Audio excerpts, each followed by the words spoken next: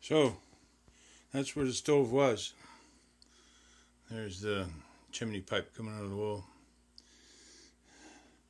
I kitty cornered 400 pound stove on two legs. Kitty corner, kitty corner, kitty corner, kitty corner, kitty corner, kitty corner, all the way out to here.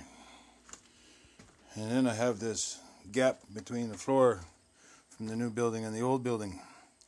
So I put this piece of plywood over the gap and you can see the marks in the in the plywood. That's from the kitty cornering of the foot on the bottom there. Kitty corner, kitty corner, kitty corner. Now it's here. Okay.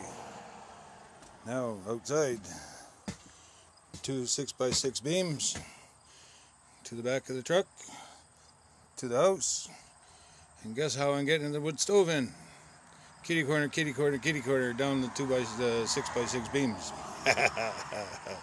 this stove is much lighter than the old one. Anyways, thought I'd send you that.